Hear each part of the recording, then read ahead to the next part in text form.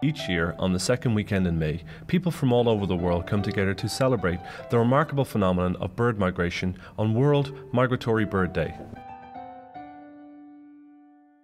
Unaware of the national borders below them, migratory birds travel along their vast migration routes, connecting people, places, and cultures.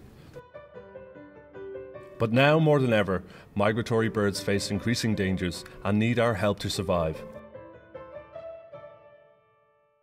World Migratory Bird Day aims to raise awareness about migratory birds and their environments and the need for their conservation.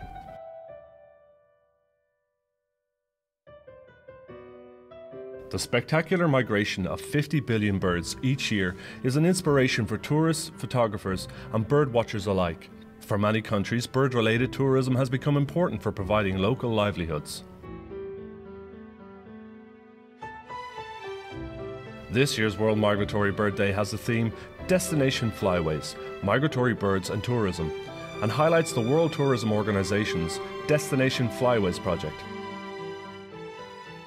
Focusing on eight key sites for migratory birds in Africa, Asia, and Europe, the project will demonstrate how ecotourism at these sites can be a vehicle for both environmental and socio-economic sustainability, benefiting wildlife, local communities, and tourists alike. Join us and thousands of others around the world on the 10th and 11th of May 2014 in celebrating migratory birds, the original long distance travellers, and our shared natural heritage on World Migratory Bird Day.